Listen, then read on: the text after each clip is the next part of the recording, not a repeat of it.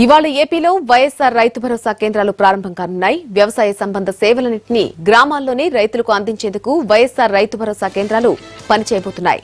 CM YS Jagan Tadepalli camp కార్యాలయం నుంచి video conference ద్వారా వీటిని ప్రారంభించనున్నారు. ఏపీ వ్యాప్తంగా పదివేల ఆరు వందల నలభై ఒక్క రైతు భరోసా కేంద్రాలు ప్రారంభం కానున్నాయి. ఆంధ్రప్రదేశ్ ఎన్నికల కమిషనర్గా నిమ్మగడ్డ రమేష్ను తిరిగి నియమించాలని ఏపీ హైకోర్టు సంచలన తీర్పిచ్చింది. నిమ్మగడ్డ పదవీ కాలాన్ని తగ్గిస్తూ ఏపీ ప్రభుత్వం తీసుకొచ్చిన ఆర్డినెన్స్ను హైకోర్టు రద్దు చేసింది. ఆర్టికల్ టూ వన్ త్రీ ప్రకారం ఆర్డినెన్స్ జారీ చేసే అధికారం రాష్ట్ర ప్రభుత్వానికి లేదని హైకోర్టు స్పష్టం చేసింది. ఎస్ఈసీ విషయంలో నిబంధనలు మారుస్తూ ప్రభుత్వం తీసుకొచ్చిన ఆర్డినెన్స్ను హైకోర్టు కొట్టేసింది. ఈ వ్యవహారానికి సంబంధించి ప్రభుత్వం జారీ చేసిన అన్ని జీవోలను రాష్ట్ర అత్యున్నత న్యాయస్థానం రద్దు చేసింది. దీంతో నిమ్మగడ్డలో ఎస్సీసీగా బాధ్యతలు స్వీకరించారు. అయితే ఈ మేరకు సర్కులర్ జారీ చేశారు నిమ్మగడ్డ రమేష్ కుమార్.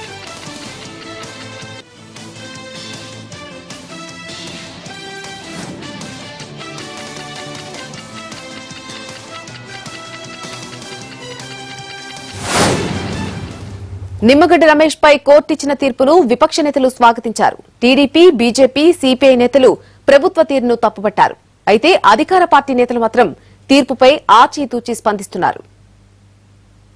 కమిషన్ విషయంలో హైకోర్టు ఇచ్చినటువంటి తీర్పుతో ఆంధ్రప్రదేశ్ రాష్ట్రంలో ప్రజాస్వామ్యం ఇంకా బతికుందని ఒక నమ్మకాన్ని విశ్వాసాన్ని కలిగించిందని చెప్పి నేను ఈరోజు తెలియచేస్తున్నాను. ఈ రోజు హైకోర్టు తీర్పు ఈ ముఖ్యమంత్రికి రెండు వైపులు ఒకవైపు కాదు రెండు వైపులు చెడాపెడా కొట్టే విధంగా ఈరోజు తీర్పు వచ్చింది. ఏ మాత్రం సీఎం ఉన్నా నెత్తురున్నా సిగ్గున్నా విశ్వాసం ఉన్నా ఈ ముఖ్యమంత్రి వెంటనే పదవికి రాజీనామా చేయాలని చెప్పి నేను కోరుతున్నాను. ఆంధ్రప్రదేశ్ హైకోర్టు రాష్ట్ర ఎన్నికల కమిషనర్ నిమ్మగడ్డ రమేష్ కుమార్ గారిని మళ్ళీ విధుల్లో నిర్వహిస్తూ చేసినటువంటి సంచలనాత్మక తీర్పు ఆంధ్రప్రదేశ్ రాష్ట్ర ప్రభుత్వానికి వైసీపీ ప్రభుత్వానికి ఎదురు దెబ్బగా చెప్పక తప్పదు. తొందరపాటు నిర్ణయాలు చేస్తే ఇటువంటి సెట్ బ్యాక్స్ తప్పవని ఇప్పటికైనా రాష్ట్ర ప్రభుత్వం తెలుసుకోవాలి. రాజ్యాంగ వ్యవస్థలో ప్రభుత్వాలకు కూడా పరిమితి కలిగిన అధికారాలు మాత్రమే ఉంటాయి కానీ అన్నీ తమకు తాము ఆపాదించుకుంటే ఇటువంటి ఫలితాలు ఎదురవుతాయి అని చెప్పి వైసీపీ ప్రభుత్వం గుర్తించాలి. ఇవాళ హైకోర్టు తీర్పుతో మేమంతా కూడా ఆనందంగా ఉన్నాం. ఇవాళ రాష్ట్రాన్ని ప్రజాస్వామ్యాన్ని పాతిపెట్టే పద్ధతుల్లో ఒక కక్ష సాధింపు రాజకీయాలకు జగన్మోహన్ రెడ్డి గారు గత సంవత్సర కాలంగా ఈ రాష్ట్రంలో పరిపాలన చేస్తూ ఉన్నారు. చివరికి స్టేట్ ఎలక్షన్ కమిషన్ కమిషనర్నే ఆయన అర్ధాంతరంగా ఆర్డినెన్స్ తెచ్చి ఆయన ఇంటికి పంపాడు. నాకు నూట యాభై మంది ఎమ్మెల్యేలు ఉన్నారు కాబట్టి నేను చేసిందే చట్టం అనే పద్ధతుల్లో ఆయన దుర్మార్గంగా వ్యవహరిస్తూ ఉన్నాడు. ఏదేమైనా సరే జగన్మోహన్ రెడ్డి కక్ష సాధింపు రాజకీయాలకు హైకోర్టు తీర్పు అనేది ఒక చెంపపెట్టు ఇప్పటికైనా బుద్ధి తెచ్చుకోమని చెప్తా ఉన్నా.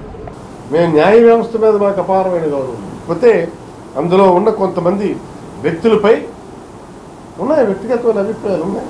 నా వ్యక్తిగతమైన అభిప్రాయాల్ని నేను వ్యవస్థకు రుద్దడానికి లేదు. నేను స్పీకర్. ది కాన్స్టిట్యూషన్ అథారిటీ నాకు అనేక విషయంలో వ్యక్తిగతంగా ఉన్న అభి అభిప్రాయాలు ఉండొచ్చు. కానీ నేను అది వ్యవస్థ మీద రుద్దడానికి లేదు. వ్యవస్థకు కొన్ని పరిధులు ఉన్నాయి. వ్యవస్థకు కొన్ని హక్కులు ఉన్నాయి. బాధ్యతలు ఉన్నాయి. దాన్ని ప్రొటెక్ట్ చేసుకుంటాం ఈసీ వ్యవహారంలో హైకోర్టు తీర్పుపై ప్రభుత్వం సుప్రీంకు వెళ్తుందని స్పష్టం చేశారు వైసీపీ నేత అంబటి రాంబాబు. తీర్పుపై న్యాయ నిపుణులతో చర్చిస్తున్నట్టు తెలిపారు. న్యాయ వ్యవస్థ మీద తమకు నమ్మకం ఉన్నప్పటికీ మెరుగైన ఫలితాల కోసం పైకోర్టుకు వెళ్తున్నట్టు అంబటి తెలిపారు.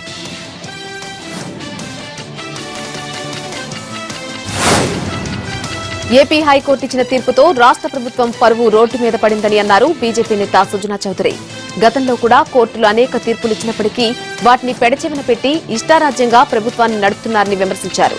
ప్రజలు నూట యాభై ఒక్క సీట్లిచ్చారని ఇష్టానుసారం ప్రభుత్వాన్ని నడుపుతానంటే రాజ్యాంగం ఒప్పుకోదన్నారు. ఇప్పటికైనా జగన్ ప్రభుత్వం ఆత్మవిమర్శ చేసుకుని పరిపాలించాలని సూచించారు సుజనా.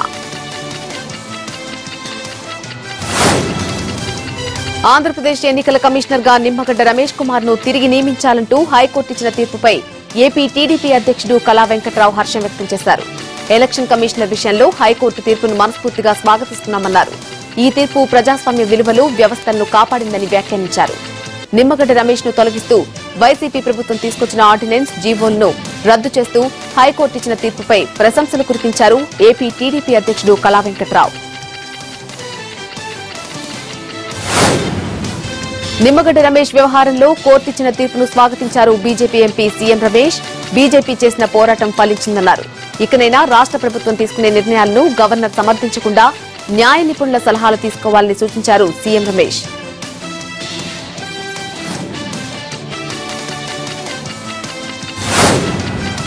నిమ్మగడ్డ రమేష్ను రాష్ట్ర ఎన్నికల కమిషనర్గా తిరిగి నియమించే హైకోర్టు.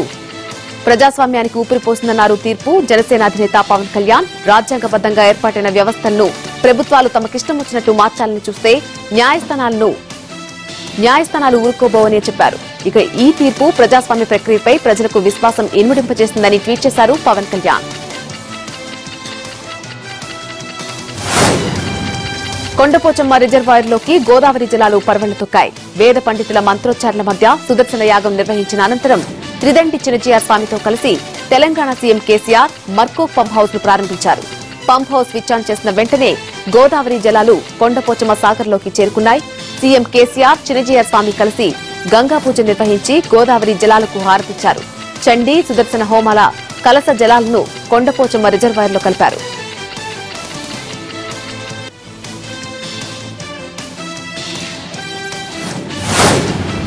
కొండపోచమ్మ సాగర్ ప్రారంభంతో తెలంగాణలో ఉజ్వల ఘట్టం ఆవిష్కృతమైందని చెప్పారు సీఎం కేసీఆర్. ప్రాజెక్టు కోసం భూములు కోల్పోయిన నిర్వాసితులకు ప్రత్యేక కృతజ్ఞత తెలిపారు. ఇక త్వరలో కొత్త ప్రాజెక్టులు కూడా పూర్తవుతాయన్న కేసీఆర్ రైతులకు వారం రోజుల్లో దేశం అబ్బురపడే శుభవార్త చెబుతామని ప్రకటించారు. కొండపోచమ్మ సాగర్ ఇనాగరేషన్ సందర్భం తెలంగాణ రాష్ట్ర చరిత్రలో ఒక ఉజ్వలమైనటువంటి ఘట్టం. ఏ లక్ష్యాన్ని ఈ గమ్యాన్ని ఆశించి తెలంగాణ ప్రజలు తెలంగాణ రాష్ట్రం కోసం పోరాడినరో ఆ కళ సంపూర్ణంగా సాదృశ్యంగా సాకారమైనటువంటి ఒక గొప్ప చారిత్రక ఘట్టం. ఇది చాలా అపురూపమైనటువంటి ప్రాజెక్ట్. దాదాపు వందలాది పంపు సెట్లు. ఇది టెన్త్ లిఫ్ట్ కాళేశ్వరం ప్రాజెక్టులో టెన్త్ లెగ్ అంటే ఇంతకుముందు తొమ్మిది లిఫ్టులు దాటుకొని టెన్త్ లిఫ్ట్ కింద కొండపోచమ్మ సాగర్లోకి జలాలు ఈరోజు ప్రవహించింది కాళేశ్వరం బ్యారేజ్ నుంచి మొదలు పెట్టుకుంటే కొండపోచమ్మ సాగర్ వరకు కూడా ఎవరైతే ప్రాజెక్టులో భూములు కోల్పోయి నిర్వాసితులైనరో వారి త్యాగాలు వెలకట్టలేనటువంటివి వారందరికీ కూడా నేను శిరస్సు వంచి నమస్కారం చేస్తా ఉన్నాను. పూర్తి స్థాయి ధన్యవాదాలు కూడా వాళ్ళకి తెలియజేస్తా ఉన్నాను ఎందుకంటే వారి త్యాగం వల్లనే ఈరోజు లక్షలాది ఎకరాల ప్రజలకు తెలంగాణ ప్రజలకు నీళ్ళు వచ్చేటువంటి అవకాశం వచ్చింది. పర్టికులర్లీ ఈ ప్రాజెక్టులో మామిడియాల బైలంపూరు తానేదారపల్లి అనే మూడు గ్రామాలు సంపూర్ణంగా దీనిలో సబ్మర్జ్ కావడం జరిగింది. జిల్లా కలెక్టర్ వెంకటరామరెడ్డి గారి నాయకత్వంలో జిల్లా మంత్రి హరీష్ గారి నాయకత్వంలో అద్భుతమైనటువంటి రిహాబిలిటేషన్ కాలనీ కూడా వాళ్ళకి నిర్మాణం చేసినారు. తునికి బల్లారం పోతే అసలు కొత్త పట్టణమే నిర్మించి గేటెడ్ కమ్యూనిటీ ఇళ్ళలాగా అవి అద్భుతంగా కనపడతా ఉంది. ఆ తృప్తి ఉంది. నేను వాళ్ళకు ఒక మాట ఇచ్చున్నాను. మీ అందరి పిల్లలకు కూడా ఉద్యోగ అవకాశాలు లభించే విధంగా food processing industry non polluting industry మీ ప్రాంతంలో పెట్టిస్తామని చెప్పినాం. అక్కనే మినిస్టర్ గారు కలెక్టర్ గారు అంతా కూడా సైట్ కూడా చూసి పెట్టినారు. ఒక hundred two hundred acres land కూడా ఉంది. ఇప్పుడు కొత్తగా ప్రారంభించబోయే ఫుడ్ ప్రాసెసింగ్ ఎస్సీ జెడ్స్లో తప్పకుండా వాళ్ళకు కూడా న్యాయం జరిగే విధంగా ఏర్పాట్లు చేయబడితే షార్టెస్ట్ పాసిబుల్ టైంలో దుమ్ముగూడెం దగ్గర సీతమ్మ సాగర్ ముప్పై ఏడు టీఎంసీల నిర్మాణం శక్తి సామర్థ్యంతో నిర్మాణం జరుగుతూ ఉంది. మరొక ఏడున్నర టీఎంసీలతోని సమ్మక్క సాగర్ దేవాదుల ప్రాజెక్ట్ కోసం అది కూడా నిర్మాణం జరుగుతూ ఉంది. షార్ట్ పీరియడ్లో అవి కూడా కంప్లీట్ కాబోతూ ఉన్నాయి. అట్లా గౌరవల్లి హుస్నాబాద్ దగ్గర గౌరవల్లి గండిపల్లి కావచ్చు ఇవన్నీ కూడా ప్రాజెక్టులు షార్ట్ పీరియడ్లోనే కంప్లీట్ కాబోతూ ఉన్నాయి. తెలంగాణ రైతాంగానికి త్వరలోనే నేను అతిపెద్ద తీపి కబురు కూడా చెప్పబోతా ఉన్నా. ఆ ఫైనాన్స్ అంతా వర్కౌట్ అయింది. రాబోయే కొద్ది రోజులలోనే నేను వాళ్ళకు మంచి మాట అంటే ఇక్కడ ప్రపంచంలోనే కాదు ఇండియాలోనే ఎక్కడ కూడా రైతాంగం కోసం లేనటువంటి గొప్ప శుభవార్త కూడా అందించబోతా. వెరీ షార్ట్ పీరియడ్లో దానికోసం అందరు వేచి ఉండాలి మీరు కూడా వేచి ఉండాలి. కొద్దిగా సస్పెన్స్ పెడదాం. ఒక వారం వరకు లెక్కాచారం అంతా తీసి అందరూ అసలు భారతదేశమే ఆశ్చర్యపడి అడ్డం పడేటువంటి వార్త కూడా చెప్తాను. కాబట్టి ఆ విధంగా కరోనాపై మంత్రి ఈటెల రాజేందర్ కీలక వ్యాఖ్యలు చేశారు. కరోనాను ఆపగలిగే శక్తి ప్రభుత్వాలకు లేదని అన్నారు. సౌదీ అరేబియా నుంచి వందలాది మంది వస్తున్నారని చెప్పారు. కరోనా ఇప్పుడే పోయేది కాదన్న మంత్రి ప్రజలు దీన్ని తేలిగ్గా తీసుకోవద్దని హెచ్చరించారు. ఎవరికి వారే జాగ్రత్తగా ఉండాలని ప్రజలకు సూచించారు.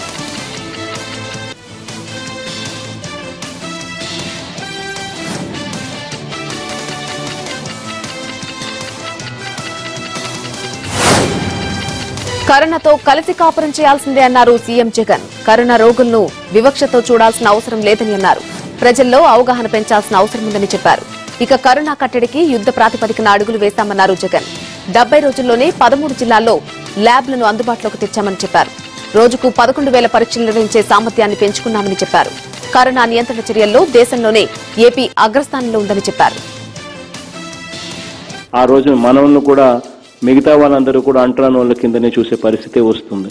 కాబట్టి ఆ పరిస్థితి ఎక్కడా కూడా రాకూడదు. ఎవరూ కూడా అలా చేయకూడదు. జ్వరం వస్తుంది పోతుంది. ఇందులో తొంభై ఎనిమిది శాతం మందికి రికవర్ అయిపో రికవర్ అవుతున్నారు అని అంటే తొంభై ఎనిమిది శాతం మంది బాగు బాగైపోతున్నారు అని అంటే దాని అర్థం ఏంది కేవలం రెండే రెండు శాతం మాత్రమే చనిపోతున్నారు. తొంభై ఎనిమిది శాతం మంది జ్వరం వచ్చినా కూడా బాగా ఇంటికి వెళ్ళిపోతున్నారు అని అంటే దాని అర్థం తొంభై ఎనిమిది మంది బాగుపడుతూ ఉన్నారనే కదా. అంటే వస్తుంది పోతుంది. ఇందులో ఇంకొకటి కూడా ప్రత్యేకత ఏమిటి అని అంటే ఎనభై ఐదు శాతం మందికి ఎవరికైతే ఈ కోవిడ్ కరోనా వస్తుందో వాళ్ళు ఇంట్లోనే వైద్యం చేయించుకోగలుగుతున్నారు. ఇంట్లోనే మందులు తీసుకొని నయం అయిపోతూ ఉన్నారు. కాబట్టి ఇదేమి ఇది వస్తే ఏదో జరిగిపోతుంది ఇది వస్తే ఏదో మునిగిపోతుంది అని చెప్పి అనుకోవాల్సిన పని లేదు. ఎవరికైనా రావచ్చు. రాబోయే రోజుల్లో అందరికీ కూడా రావచ్చు. వచ్చి అందరికీ వెళ్ళిపోతుంది కూడా. వస్తుంది వెళ్ళిపోతుంది. కాబట్టి దీంతో మనం సహజీవనం చేయాలి అన్నది ఖచ్చితంగా గుర్తుపెట్టుకోవాలి. అయితే వచ్చేటప్పుడు వచ్చినప్పుడు మన ఇంట్లో పెద్దవాళ్ళని మాత్రం మనం కొంచెం మద్యం అమ్మకాల్లో జేఎస్టీ ద్వారా సీఎం జగన్ ఏడాదికి ఐదు వేల కోట్లు ఐదేళ్ళలో ఇరవై ఐదు వేల కోట్లు సంపాదించుకోబోతున్నారని మహానాడులో లోకేష్ చేసిన ఆరోపణలకు వైసీపీ ఎమ్మెల్యే రోజా గట్టి కౌంటర్ ఇచ్చారు.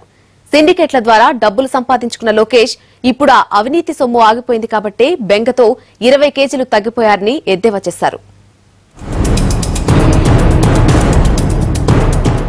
చీప్ లిక్కర్ కన్నా దారుణమైన విషాన్ని ఈ రోజు వంద రూపాయలకి దొరికే బాటిల్ని ఏకంగా నాలుగు వందల రూపాయలకి అమ్ముతున్నారు. ఒక మద్యంలోనే జిఎస్టి అంటే జగన్ రెడ్డి సర్వీస్ ట్యాక్స్ ఎంతో మీకు తెలుసా? సంవత్సరానికి ఐదు వేల కోట్ల రూపాయలు. అంటే ఏకంగా ఐదు సంవత్సరాల్లో ఇరవై ఐదు వేల కోట్ల రూపాయలు కేవలం ఒక జిఎస్టిలోనే అంటే మద్యంలోనే సంపాదిస్తున్నారు. సిండికేట్ల ద్వారా ఇబ్బడి ముప్పటిగా డబ్బులు సంపాదించి మరి తన ఒళ్ళు పెంచుకున్న లోకేష్ ఈరోజు ఆ యొక్క అవినీతి సొమ్ము లిక్కర్ నుంచి రాకపోయేసరికి బెంగతో ఇరవై కేజీలు తగ్గిపోయాడు అనేది నిన్న మనం చూసాం. కానీ ఏదో డైటింగ్ చేసి తగ్గినట్టుగా మాట్లాడుతూ జగన్మోహన్ రెడ్డి గారు ఈరోజు ఏ విధంగా కంపెనీల దగ్గర దోచుకుంటున్నారు మద్యంలో అంటున్నారు.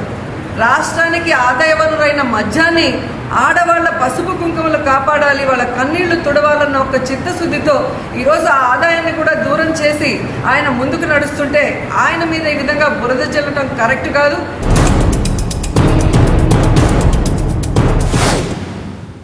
టీడీపీ పార్టీ జూమ్ పార్టీగా మారిందని ఎద్దేవా చేశారు వైసీపీ ఎమ్మెల్యే రోజా. భవిష్యత్తులో చంద్రబాబు జూమ్ నాయుడుగా మిగిలిపోతారని ఎద్దేవా చేశారు. ప్రతిపక్షం అవసరం లేకుండానే సీఎం జగన్ పరిపాలన చేస్తున్నారని చెప్పారు.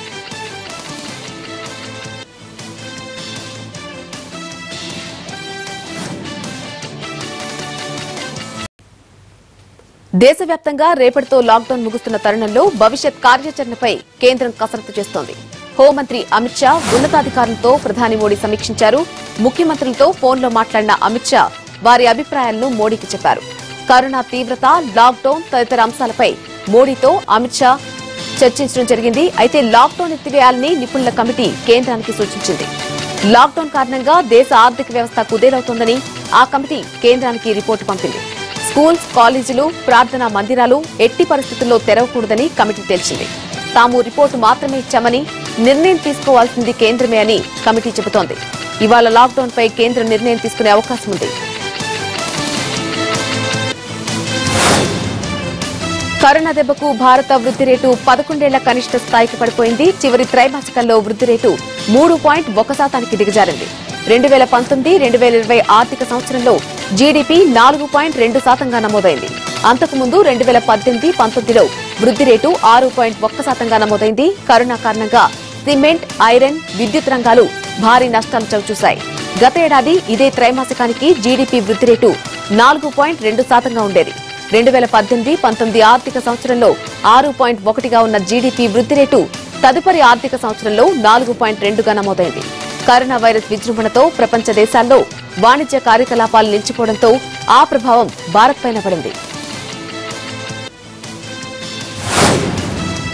రాష్ట్రంలో అభివృద్ధిని చూసి బోర్వలేకే ప్రతిపక్షాలు మోకాలడ్డుతున్నాయని మండిపడ్డారు కడప జిల్లా ఇన్ఛార్జ్ మంత్రి ఆదిమూలపు సురేష్. హైకోర్టు ఇచ్చిన తీర్పును ప్రతిపక్షాలు రాజకీయం చేస్తూ నానాయాగి చేస్తున్నాయని ఆగ్రహం వ్యక్తం చేశారు. ప్రభుత్వం మీద బురద చల్లాలని ప్రతిపక్షాలు ప్రయత్నిస్తున్నాయని మంత్రి ఆదిమూలపు సురేష్ ఆరోపించారు. జ్యుడిషియరీ మీద సీఎం జగన్కు నమ్మకం ఉంది కాబట్టే కమిషన్స్ అన్నింటిలో రిటైర్డ్ జడ్జిలు పెట్టడం జరిగిందన్నారు. జ్యుడిషియరీ నుండి ఎస్ఈసీలను తీసుకోవాలని ఆలోచించిన వ్యక్తి సీఎం జగన్ అని చెప్పుకొచ్చారు.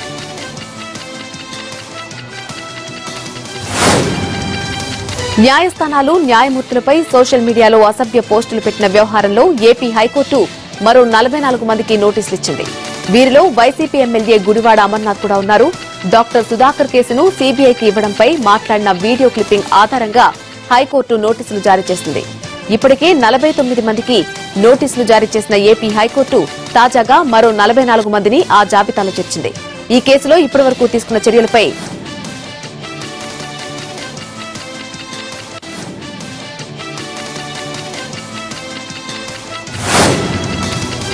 డాక్టర్ సుధాకర్ విషయంలో ఏపీ ప్రభుత్వం కళ్ళు మూసుకుందని తన కొడుకుపై కక్ష సాధిస్తుందని ఆయన తల్లి ఆరోపించారు.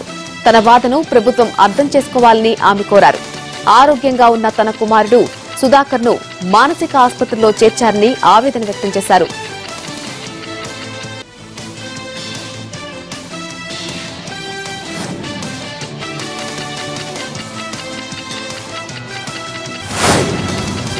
దేశ ఆర్థిక రాజధాని ముంబై కరోనా ఎపిక్ సెంటర్గా మారిపోయింది. ముంబై మహానగరంలో సుమారు సున్నా పాయింట్ రెండు రెండు శాతం జనాభా వైరస్ బారిన పడినట్టు తెలుస్తోంది. మహారాష్ట్రలో మొత్తం కేసుల సంఖ్య అరవై రెండు వేలకు చేరుకుంది. గత ఇరవై నాలుగు గంటల్లో ఏకంగా రెండు వేల ఆరు వందల ఎనభై రెండు కొత్త కేసులు వెలుగు చూశాయి. ఒక్క రోజులో వందకు పైగా కరోనా బాధితులు చనిపోయారు. మహారాష్ట్రలో ఈ స్థాయిలో మరణాలు సంభవించడం ఇదే తొలిసారి.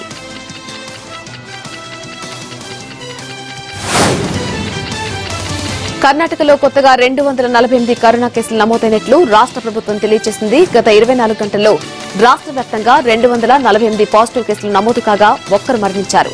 అరవై మంది కోలుకుని డిశ్చార్జ్ అయ్యారు. తాజాగా నమోదైన కేసులతో కలుపుకుని రాష్ట్రంలోని మొత్తం కేసుల సంఖ్య రెండు వేల ఏడు వందల ఎనభై ఒకటికి చేరుకుంది. నలభై ఎనిమిది మంది మృత్యువాత పడ్డారు. తమిళనాడులో కరోనా కేసులు రోజురోజుకు పెరుగుతున్నాయి. నిన్న ఒక్కరోజే ఎనిమిది వందల డెబ్బై నాలుగు కరోనా కేసులు నమోదైనట్లు రాష్ట్ర ప్రభుత్వం తెలిపింది. తమిళనాడులో గత ఇరవై నాలుగు గంటల్లో ఎనిమిది వందల డెబ్బై నాలుగు కరోనా కేసులు నమోదయ్యాయి. తొమ్మిది మంది మరణించారు. ఏడు వందల అరవై ఐదు మంది కోలుకుని డిశ్చార్జ్ అయ్యారు. తాజాగా నమోదైన కేసులతో కలుపుకుని రాష్ట్రంలో మొత్తం కేసుల సంఖ్య ఇరవై వేల రెండు వందల నలభై ఆరుకు చేరుకుంది.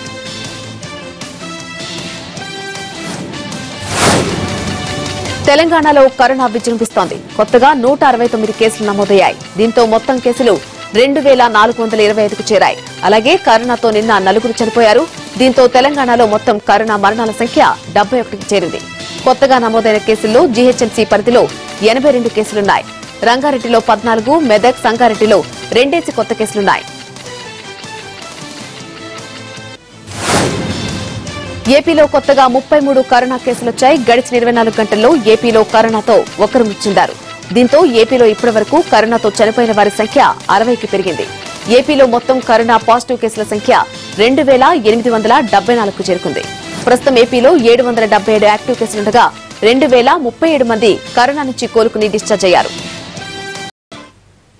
ఈ ఏడాది మెడికల్ డెంటల్ పీజీ కోర్సుల్లో అడ్మిషన్లు నిలిపిస్తున్నట్టు AP medical and dental management association ప్రకటించింది. దీంతో ఏపీలోని పన్నెండు మెడికల్ పదమూడు డెంటల్ కాలేజీల్లో ఈసారి పీజీ అడ్మిషన్లు నిలిచిపోనున్నాయి. దీనిపై ఏపీ మెడికల్ డెంటల్ మేనేజ్మెంట్ వైద్య ఆరోగ్య శాఖ స్పెషల్ చీఫ్ సెక్రటరీకి లేఖ రాసింది. ప్రభుత్వం నిర్ణయించిన ఫీజుల కంటే మెడికోల స్టైఫండే ఎక్కువ ఉందని పేర్కొంది. ప్రైవేట్ మెడికల్ కాలేజీలన్నీ కోవిడ్ ఆసుపత్రులుగా మారిపోయాయని పేషెంట్లు లేక డాక్టర్లకు జీతాలు కూడా ఇవ్వలేని పరిస్థితులున్నాయని లేఖలో తెలియజేసింది. తిరుమల శ్రీవారి లడ్డూ విక్రయాల్లో కొత్త రికార్డులు నమోదవుతున్నాయి. అనంతపురం జిల్లాలో మూడు రోజుల్లో లక్షా ఇరవై ఐదు వేల లడ్డూ ప్రసాదాలను భక్తులు తీసుకున్నారు. తిరుమల ప్రసాదం తీసుకోవడం వల్ల సాక్షాత్తు స్వామిని దర్శనం చేసుకున్నంత తృప్తిగా ఉందంటున్నారు భక్తులు. అయితే ప్రసాదం దొరకడం లేదని ఎవరూ ఆందోళన చెందవద్దని ఈ నెల ముప్పై ఒకటి వరకు విక్రయాలు కొనసాగుతాయని నిర్వాహకులు చెబుతున్నారు. అనంతపురం జిల్లా పామిడి మండలంలో తాగునీటి కోసం ఘర్షణ పడిన ఐదుగురికి తీవ్ర గాయాలయ్యాయి. పి. కొండాపురం గ్రామంలో తాగునీటి ట్యాంకర్ వద్ద ఇరు వర్గాల మధ్య వివాదం చెలరేగింది. మాటామాటా పెరిగి ఘర్షణ పడ్డారు. ఘటనలో ఐదుగురికి తీవ్ర గాయాలయ్యాయి.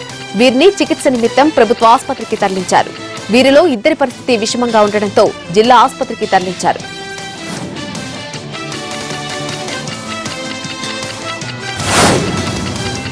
విజయనగరం జిల్లా కురుపాం ఏజెన్సీలో భారీ వర్షం కురిసింది. ఒక్కసారిగా ఉరుములు మెరుపులతో కూడిన భారీ వర్షం కురిసింది. ఎండవేడి తాళలేక ప్రజలు ఇబ్బందులు పడుతున్న సమయంలో వర్షం పడడంతో ప్రజలందరూ వేడి నుండి ఉపశమనం పొందారు. అయితే కురుపాం మండలం లేవిడి గ్రామ సమీపంలో ఈత చెట్టుపై పిడుగు పడడంతో ప్రజలు భయాందోళన చెందారు. తూర్పుగోదావరి జిల్లా గ్రామాల్లో మట్టి మాఫియా పేటరేగిపోతోంది. రాజోలు దీవిలో వేగివారిపాలెంలో ఓ చెందిన ఉత్పత్తిలో తన డ్రిల్లింగ్ సైట్లోని మట్టిని తరలించుకుపోతుంటే అధికారులు అడ్డుకున్నారు. జేసీబీని స్వాధీనం చేసుకుని ఉన్నతాధికారులకు సమాచారం అందించారు. బీఆర్ఓ మాధవరావు ఓఎన్జీసీ అధికారుల జేసీబీని పోలీసులకు అప్పగించారు. తెలంగాణలో విద్యా సంవత్సరం ప్రారంభం తరగతుల నిర్వహణపై మంత్రి సబితా ఇంద్రారెడ్డి సమీక్ష నిర్వహించారు. ఈ సమీక్షలో టీచర్ ఎమ్మెల్సీలు అధికారులు విద్యా సంస్థల ప్రతినిధులు పాల్గొన్నారు. ఆన్లైన్ తరగతులు ఎంతవరకు సాధ్యమనే దానిపై ఈ సమీక్షలో చర్చించారు. విద్యా సంవత్సరం ప్రారంభం కాకుండా ఆన్లైన్ తరగతులు నిర్వహించొద్దని నిర్ణయం తీసుకున్నారు. కొన్ని ఇంటర్ కళాశాలలు ఆన్లైన్ క్లాసులు నిర్వహించడం ప్రభుత్వం దృష్టికి రావడంతో చర్యలు తీసుకోవాలని టీచర్ ఎమ్మెల్సీలు కోరారు.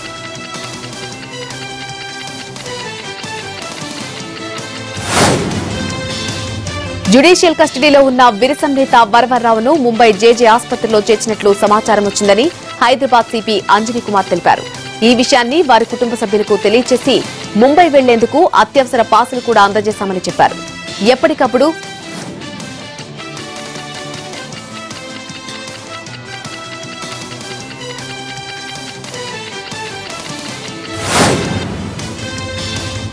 మిడతల దండు ప్రవేశిస్తుందనే వార్తలతో పెద్దపల్లి జిల్లా అధికారులు అప్రమత్తమయ్యారు. మిడతల దండు ప్రయాణాన్ని అంచనా వేసి అడ్డుకునే చర్యలు పర్యవేక్షించేందుకు ఐదుగురు సభ్యులతో కమిటీని నియమించారు. రామగుండం ఎన్టీపీసీ జ్యోతి గెస్ట్ హౌస్లో ఐదుగురు సభ్యుల కమిటీ సమావేశమైంది. హెలికాప్టర్ ద్వారా ఆదిలాబాద్ నుంచి భద్రాచలం వరకు గోదావరి వెంట పరిస్థితులను పర్యవేక్షించనుంది. ఇక ఈ బృందం నాలుగు రోజుల పాటు రామగుండంలోనే మకాం వేనుంది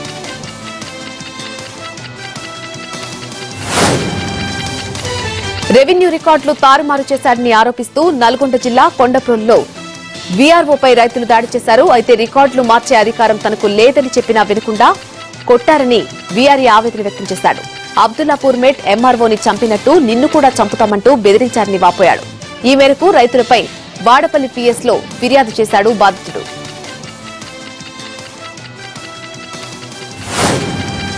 హైదరాబాద్ గగన్ పహాడ్ ఏరియాలో ఆపరేషన్ చిత్తా కొనసాగుతోంది. అగ్రికల్చర్ యూనివర్సిటీ సీసీ కెమెరాల్లో చిరుత కనిపించిన దృశ్యాలు రికార్డయ్యాయి అక్కడి నుంచి గగన్ పహాడ్ గుట్టల్లోని ఫారెస్ట్ ఏరియాలోకి చిరుత వెళ్ళిన ఆనవాళ్ళు కనిపిస్తున్నాయి. కానీ కాలిముద్రల ఆధారంగా చిరుత ఫారెస్ట్లోని చెరువు దగ్గరకు వెళ్ళి నీళ్ళు తాగినట్లు గుర్తించారు అధికారులు. చిరుతను పట్టుకోవడానికి పోలీసులు అటవీ అధికారులు రంగంలో తిరిగారు. కరోనా ఉందన్న అనుమానంతో తల్లిని ఇంటి నుంచి గెంటివేశారు ఆమె కొడుకులు. కరీంనగర్లోని కిసాన్ నగర్లో ఈ దారుణం చోటు చేసుకుంది. మహారాష్ట్రలోని షోలాపూర్ వెళ్ళిన శ్యామల అనే వృద్ధురాలు లాక్డౌన్ కారణంగా రెండు నెలలుగా అక్కడే చిక్కుకుపోయింది. ఎన్నో అవస్థలు పడి కరీంనగర్లో ఉన్న కొడుకుల దగ్గరకొచ్చింది అయితే ఆమెకు కరోనా ఉందన్న అనుమానంతో కొడుకులు ఇంట్లోకి రానివ్వలేదు. దాంతో ఆ వృద్ధురాలు రోడ్డు మీద ఉండిపోయింది. ఆహారం నీళ్ళ కోసం అలమటిస్తుండటంతో స్థానికులు స్పందించి ఆమెకు అన్నం పెట్టారు. వృద్ధురాలిలో కరోనా లక్షణాలు ఏమాత్రం లేకపోయినా కొడుకులు ఆమెను ఇంట్లోకి రానివ్వకపోవడంపై స్థానికులు మండిపడుతున్నారు.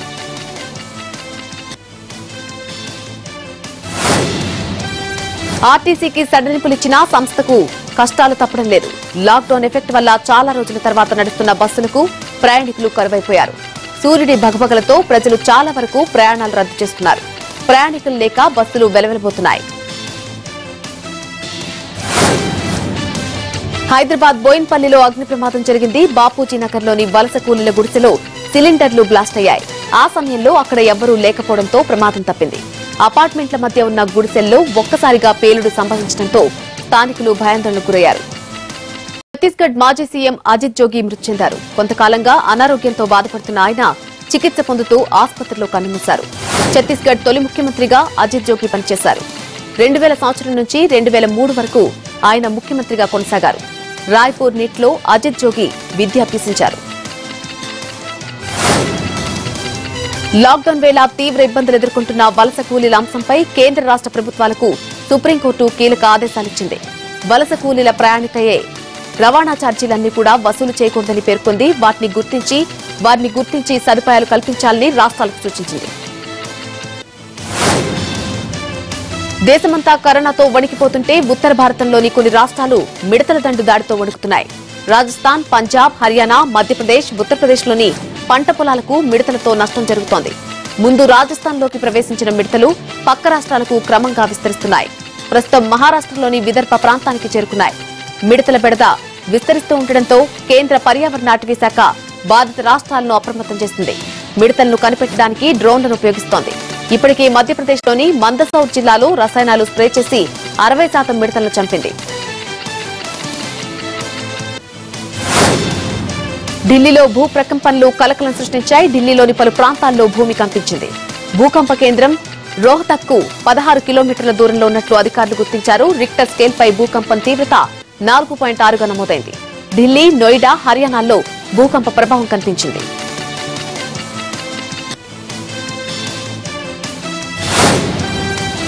టూరిస్టులుగా వచ్చి మత కార్యక్రమం నిర్వహించినందుకు గాను మర్కజ్లో పాల్గొన్న ఐదు వందల నలభై ఒక్క మంది విదేశీయులపై ఢిల్లీ పోలీసులు ఛార్జ్షీట్లు దాఖలు చేశారు. ఇప్పటికీ మొత్తం తొమ్మిది వందల మందిపై ఛార్జ్షీట్లు దాఖలు చేశారు పోలీసులు. ముప్పై నాలుగు దేశాలకు చెందిన వీరిపై ముప్పై ఐదు వేర్వేరు ఛార్జ్షీట్లు దాఖలు చేశారు. నిబంధనలకు విరుద్ధంగా వీసా నిబంధనలు పాటించకుండా అక్రమంగా మత సంబంధ కార్యకలాపాల్లో పాల్గొనడమే కాకుండా దేశంలో కరోనా వ్యాప్తికి కారణమయ్యారని పోలీసులు చర్యలు చేపట్టారు. వీరిపై వీసా నిబంధనల ఉల్లంఘన అంటువ్యాధుల నిరోధక చట్టం విపత్తు నిర్వహణ చట్టంతో పాటు సెక్షన్ వన్ కింద కేసులు నమోదు చేశారు. ఫోన్ నెంబర్ను క్షణాల్లోనే పొందే ఈ పాన్ సౌకర్యాన్ని కేంద్ర ప్రభుత్వం కల్పించనుంది. దీనికి సంబంధించిన పోర్టల్ని ఆర్థిక శాఖ మంత్రి నిర్మలా సీతారామన్ ప్రారంభించారు. ఆధార్ కార్డు నెంబర్తో పాటు ఆధార్కు అనుసంధానమైన మొబైల్ నెంబర్ ఉన్న వారికి మాత్రమే ఈ సౌకర్యం అందుబాటులో ఉంటుంది. ఎలాంటి పేపర్ వర్క్ అవసరం లేని ఈ ఎలక్ట్రానిక్ పాన్ కార్డుకు ఎలాంటి రుసుము కూడా చెల్లించిన అవసరం లేదు. డిజిటల్ ఇండియాలో భాగంగా ఆదాయ పన్ను శాఖ ఈ సదుపాయాన్ని అందుబాటులోకి తెచ్చినట్లు ప్రకటించింది. అయితే ఈ సదుపాయం బీటా వెర్షన్లో ఇప్పటికే అందుబాటులో ఉండగా ప్రస్తుతం అధికారికంగా ప్రారంభించినట్లు ప్రభుత్వం వెల్లడించింది.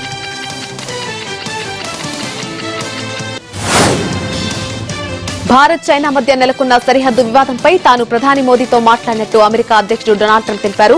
చైనా తీరుపై మోడీ అసంతృప్తితో ఉన్నారని ట్రంప్ అన్నారు. భారత్ చైనా మధ్య పెద్ద ఘర్షణ తలెత్తినట్లు ఆయన వ్యాఖ్యానించారు.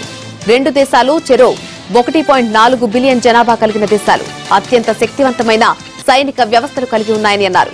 ఇటు చైనా గాని అటు భారత్ గాని తాజా పరిస్థితులపై సంతోషంగా లేవనుకుంటా అని ట్రంప్ వ్యాఖ్యానించారు.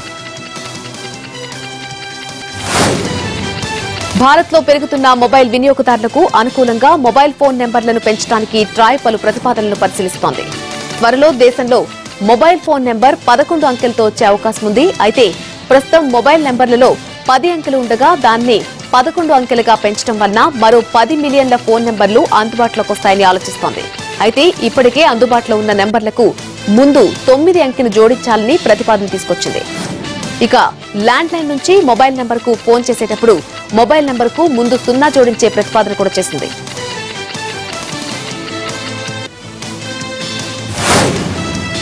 బంగారం ధరలు మళ్ళీ బగ్గుమన్నాయి హాంకాంగ్ విషయంలో చైనా అమెరికా మధ్య ఉద్రిక్తతలకు తోడు కరోనా వైరస్ కేసులు పెరుగుతూ ఉండడంతో ఇన్వెస్టర్లు తిరిగి బంగారంలో పెట్టుబడులకు మొగ్గు చూపారు. దీంతో బంగారం ధరలు మళ్ళీ బగ్గుమన్నాయి అంతర్జాతీయ మార్కెట్లో బంగారం ధరల పెరుగుదల ప్రభావం భారత మార్కెట్ పైన కనిపించింది. ఎంసీఎక్స్లో పది గ్రాముల బంగారం ధర రెండు వందల తొమ్మిది రూపాయలు పెరిగి నలభై ఆరు వేల ఆరు వందల పద్నాలుగు పెరిగింది. వెండి కూడా పసిడి బాట్లోనే పయనించింది.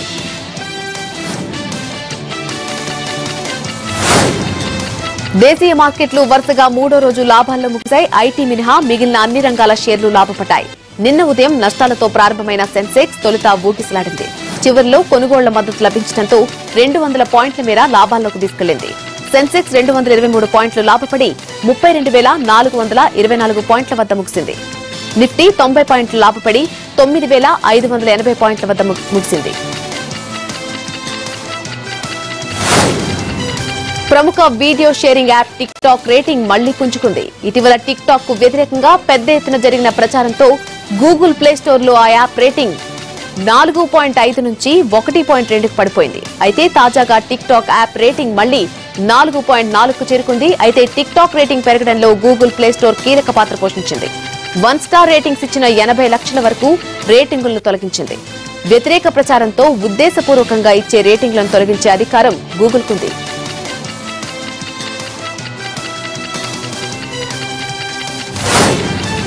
టాలీవుడ్లో లాక్డౌన్ మీటింగ్ పై బాలకృష్ణ పేల్చిన బాంబుల వేడి ఇంకా చల్లారలేదు. చిరంజీవి నివాసంలో మరోసారి జరిగిన సమావేశంలోనూ ఇదే టాపిక్ అయింది. చిరంజీవి నివాసంలో మీటింగ్ పెట్టమని మంత్రి తలసాని చెప్పడంతోనే అలా మీటింగ్ జరిగిందని సి కళ్యాణ్ వివరణించారు. అవసరం ఉన్న వారిని మీటింగ్కి పిలుస్తారని ఎవరిని బొట్టు పెట్టి పిలవరు అంటూ తమ్మారెడ్డి భరద్వాజ్ అన్నారు. అయితే అందరినీ పిలవాల్సిన బాధ్యత మూవీ ఆర్టిస్ట్ అసోసియేషన్ పైన ఉందని సి కళ్యాణ్ అనడంతో మా అధ్యక్షుడు నరేష్ స్పందిస్తూ ట్వీట్ చేశారు. తననే పిలువని సమావేశానికి ఇంకొకరిని నేనెలా పిలుస్తానంటూ నరేష్ ట్వీట్ చేశారు.